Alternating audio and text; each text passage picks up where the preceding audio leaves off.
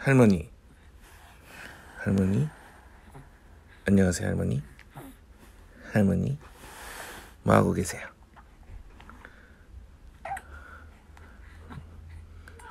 기분이 어때요, 할머니? 지금 갇히셨어요. 이렇게 지금 팔다리를 꼼짝 못하게.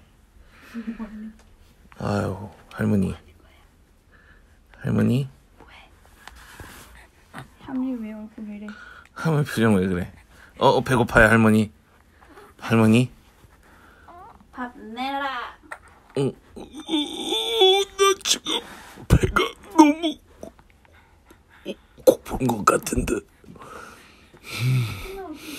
어, 저기, 어, 저기, 어, 저기, 엄마, 어유, 배가 고픈데요. 저, 저, 뭐, 뭐, 이거 새 거인데? 뭐 먹을 거가 근처에 어디 있나? 없 없어? 없는 것 같은데 먹을 게 음, 있으면 좋겠는데 어디 있을까?